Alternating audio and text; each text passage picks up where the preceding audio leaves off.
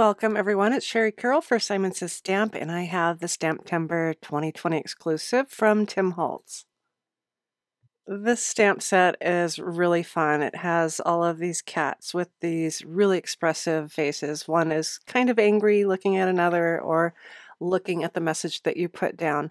I'm going to be doing uh, a lot of masking and I'm going to put these together to create a single layer card. So I'm starting off with this kind of angry cat and he's going to sit to the left and he's looking off to his right. So I've tilted him a little bit so that it looks like he is looking at the cat that will sit to the upper right.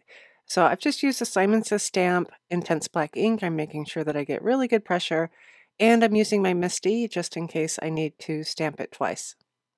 I'll need to create a mask for him. So I'm using the 3M. This is the 3 inch tape and I'm just putting this to the right. I don't need to mask off to the left and without cleaning my stamp off I can stamp right back over and this will stamp onto my masking paper that I can trim up later.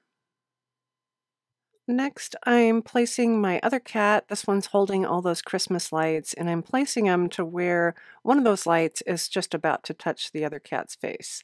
And again, I'll be using the Simon Says Stamp Intense Black ink, and I'll ink this up really well. Give that some really good pressure with my fingertips, and now I have both images.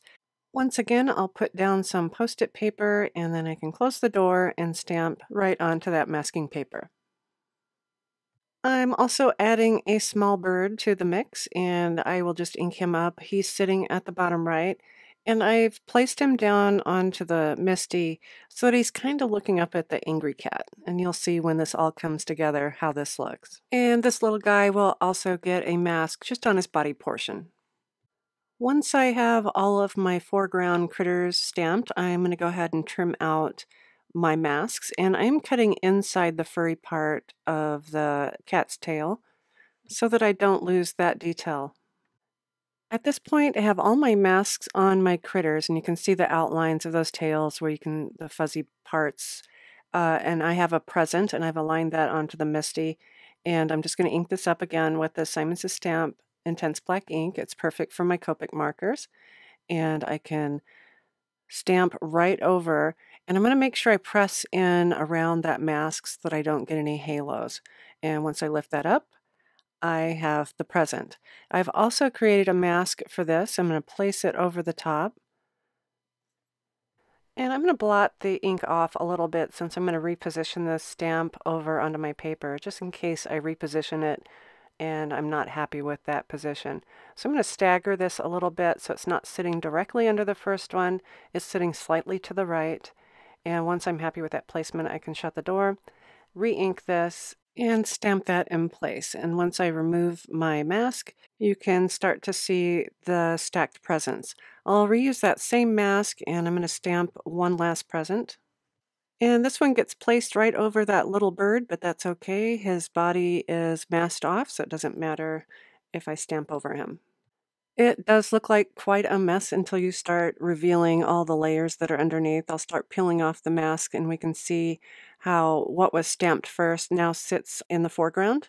As you can see, the cat's tail sits over the top of those presents, and then here comes the second cat's tail, which is just about touching. So now it looks as though those cats are in front of those presents. For my coloring, I've sped this up. It is just pretty basic. I'm using some browns for my cat on the left. And I have all of my Copic markers in the description box below that I've used for this project.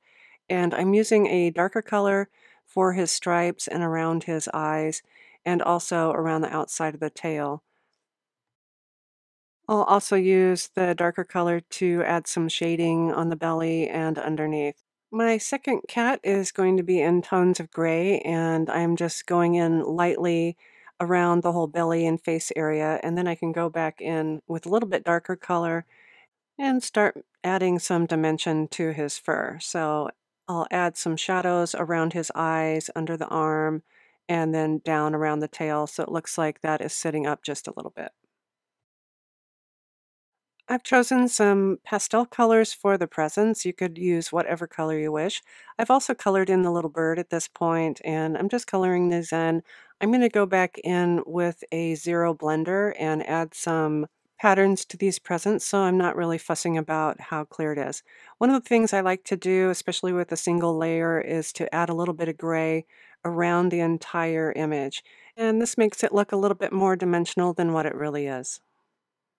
Now that I have everything colored, I am adding in some little stars above this cat, and I'm using Simon Says Stamp Fog ink. And then towards the bottom, I'm using the Simon Says Stamp Intense Black ink for my message.